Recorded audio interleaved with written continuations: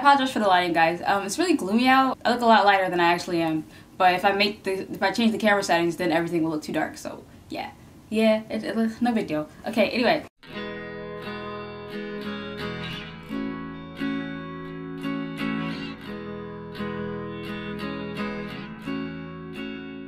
Hey guys, welcome back to my channel. If you're new here, my name is Shelay, and every year I try to come up with my own little list of goals that I want to accomplish by the end of that year. Right now, as I'm filming this video, it's the last day of 2018. The very last day of the year, and I don't know, I'm a very symbolic person, so like, when it become when it comes to like New Year's, like that means a lot to me. I feel like it's a nice, uh, fresh start.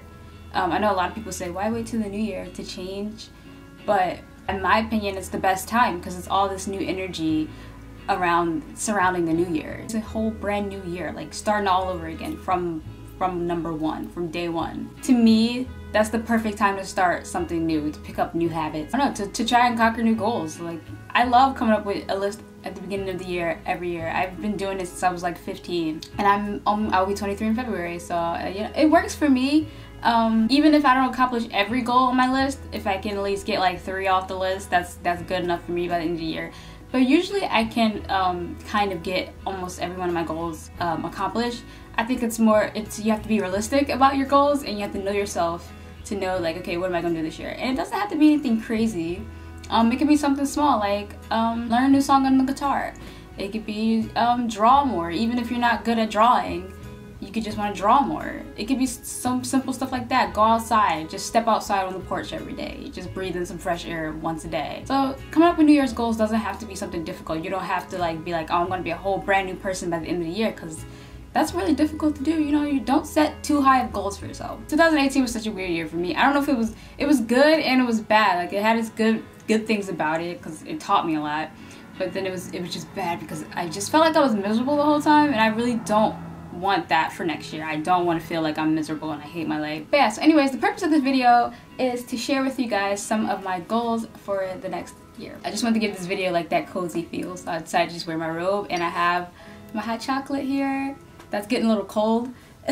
Let's talk about goals. They're in no particular order. I just kind of wrote them down as they came to mind. So number one, I want to journal more. Um, I started writing in journals when I was, I think, 14 or 15.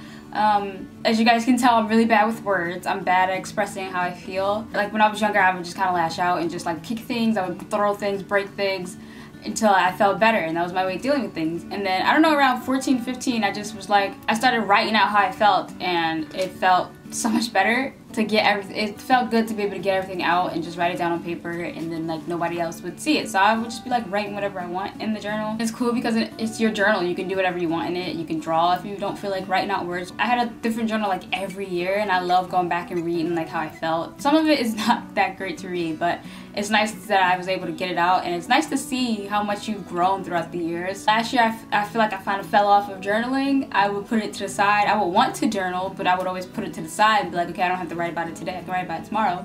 But then like tomorrow comes and you don't feel the same as you felt so you can't write out how you felt yesterday. I don't like talking to people about how I feel a lot, so writing it down in a journal really helps me. My second goal is to reconnect with nature, and this may this gonna sound super lame, it makes like a weird hippie or something, but I love nature. I love trees, I love flowers, I love butterflies, I love birds, I love all the stuff outside, I love the dirt, everything. I just love it. I've said this before in one of my videos, I'm a very like, I'm not religious, but I'm kind of more spiritual where like I talk to the universe and stuff like that. I'll talk to the moon, I'll talk to the sun, I'll talk to trees in my in my head. Obviously, I'm not out.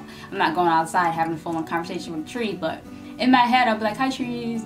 You guys look beautiful," and stuff like that. I don't know. I'm I'm weird like that. But um, when I was in college, I used to go on little nature walks all the time, and just like I would find a nice tree, just sit under it, or I would go out and look for rocks or look for acorns, and I would pick up pine cones and stuff like that. And I don't know. It just makes me happy being out with nature and being outside, feeling the wind and just like touching the grass. It just makes me happy. I don't care if it's weird to other people. I love nature and it's proven. One of my teachers one time, my English teacher told me that it's proven that nature helps calm people down and that's what definitely does for me. So sometimes I'll just stare outside. I'll just stare at the trees and I'll just watch the leaves blow back and forth and I just love it. I, I just love nature. I don't even know how to explain it. I'm a city girl, but I love I love nature.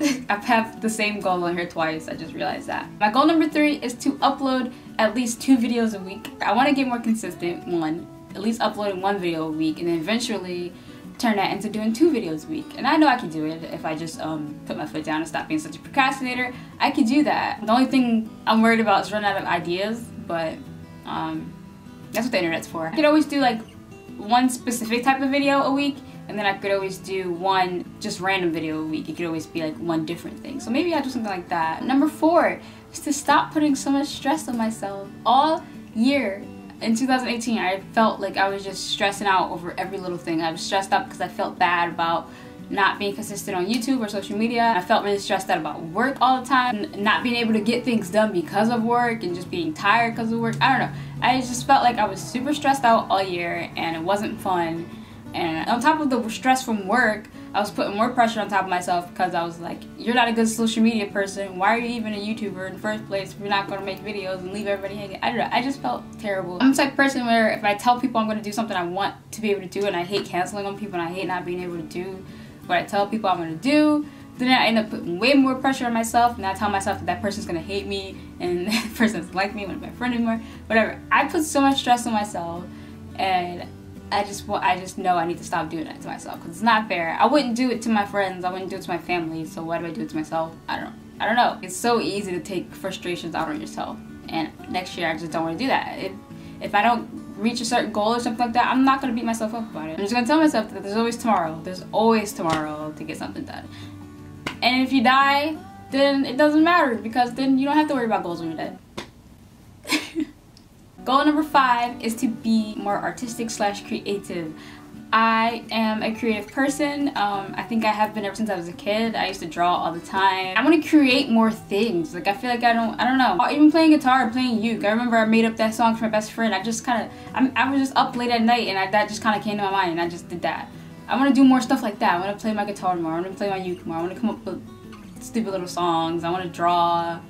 I want to do, I want to take beautiful pictures. I want to make nice videos. I love making video collages. My collages with the music in the background, that's one of my favorite things to do. I'm definitely going to do more of those here. Number six is kind of tied in with number five. It's to play my guitar and my ukulele more, like I was saying. When I got my ukulele, the first time I could not put it down. I was going through a bunch of my old videos on my channel and on my phone, and a lot of them had my guitar in it. I was like, oh, I miss playing my guitar. I, I picked it up recently and I didn't know what to do. I, think all I can remember how to do is make a G chord. My fingers was hurting because my calluses are gone now.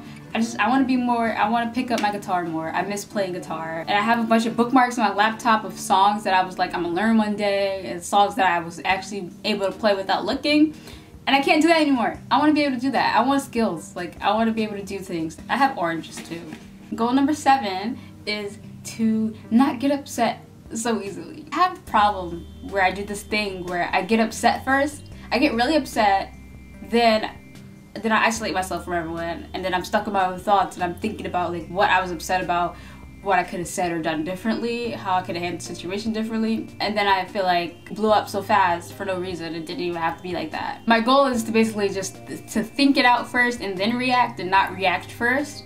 Cause that's what I always do. I always overreact, and then I realize you did all that for no reason. You could have just saved all that energy. I'm so dramatic. I'm such a baby. Liam calls me brat all the time, and I just, I am. So I think I'm working.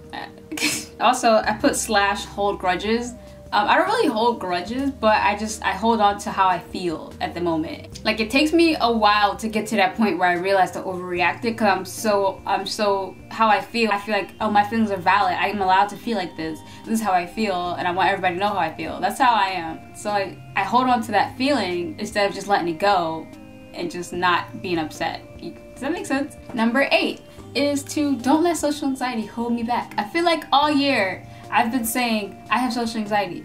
That's why I'm doing this. I have social anxiety. I can't do that. Blah, blah, blah. You know, I've said social anxiety so many times, I'm starting to hate the words. I'm, I'm pretty sure everybody around me probably is too, but like, I don't know, it's something I've been dealing with my whole life, and I feel like if I made it this far having social anxiety, then you know I can I can get further. I don't have to use it as an, use it as an excuse all the time. I just need to recognize that I have it, and that I need to figure out a way how I'm going to get through a situation with it, you know? Instead of being like, oh, I can't do that because I have social anxiety, I need to be like, how can I work with my social anxiety to get me through this situation? How can I calm it down? How can I bring my social anxiety down and not just indulge in it? Because I feel like once I, when every time I'm like, oh, I have social anxiety, I can't do that, and I'm always thinking about how I have social anxiety, and I start thinking about that, and then it just kind of makes me even more anxious instead of just being like, instead of just not thinking about it. Because that's what I, for a while, I just didn't think about it. I just put the anxiety in the back of my mind, and I was just kind of like, okay, I have it, but that doesn't matter. I can do whatever I want. Even though I have social anxiety, I can still do whatever I want. Um, but I feel like this year I just kind of used it. I used it as a shield. I kind of just hid behind it. Like I have social, I have social anxiety. Put up the social anxiety shield, and I'm just gonna hide behind that and stay there. That's my safe spot. I want it to just be a part of me, but I don't want to have to hide behind it. You know. Number nine is to let go of things slash declutter. So I mean like actual physical, tangible things. Let go of. I'm such a hoarder. Like not really. I'm like a low key hoarder. I just have so much stuff throughout the years. Like I have stuff from my childhood still that I, that serves no purpose to me, but I'm holding on to it because it was a part of my childhood. That's a hoarder for you. I'm not like a super hoarder. I just have a bunch of like stuff. I have so much stuff. I have stuff here at Liam's house. I have stuff at home that just kind of like takes up space and I really don't need it and I could get rid of it, but I've just kind of been like, okay, one day I'll get rid of all that junk, but today's not the day.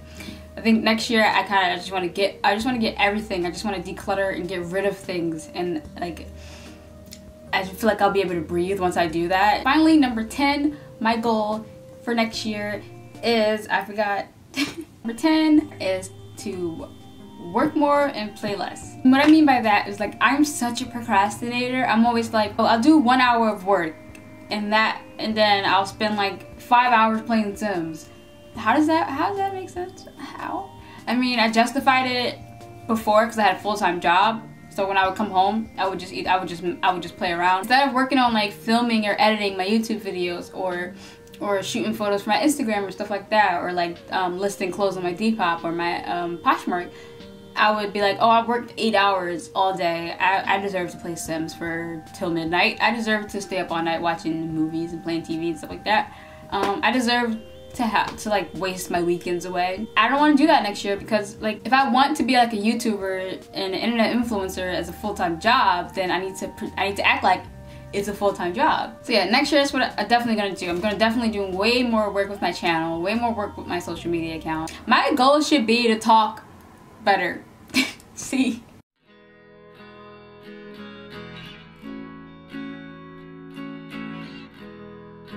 And then I have just some bonus ones that basically carried over from last year. I don't like to have the same repeat goals, but I have some bonus ones that kind of need to be. The first one is more adventures. I want to get out more. I want to do more things. I want to stop spending so much time in the house. I want to be outside doing things. I want to try new things. I want to go new places. Even if it might sound boring, I kind of want to do it anyway. Number two is the same as it was up here. That's why I said I had wrote the same goal twice. It was post two videos a week.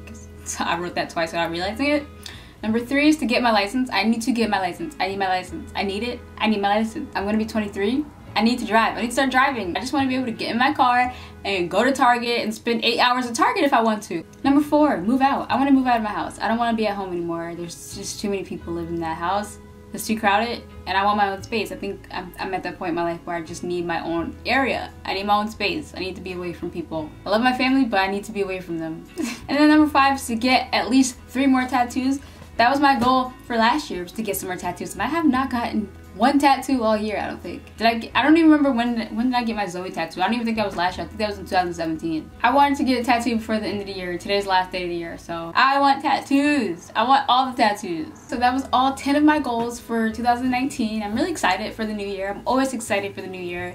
Um, you never know what's gonna happen um, as much as I dreaded last year, I still really appreciate the year. It was like a learning year for me, definitely. I want next year to be, still be learning, but I want it to be more of an experience year, not just like sitting around taking in information. I want to go, I want to be out experiencing things next year. So yeah, definitely let me know some of your guys' goals for next year. If, if, you have any, let me know if you don't have any goals. If you just go into the new year and letting whatever happen happens.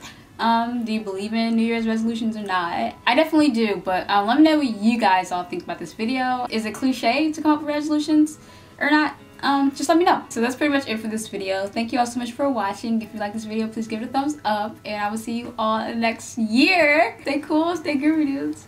And here's 2019. I'm so excited.